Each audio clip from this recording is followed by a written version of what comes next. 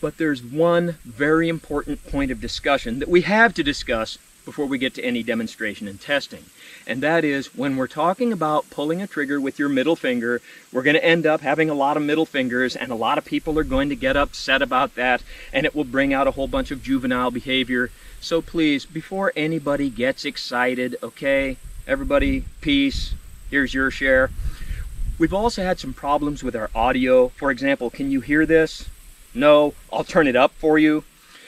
We've also had a little bit of problems with wind on the range, such as, okay.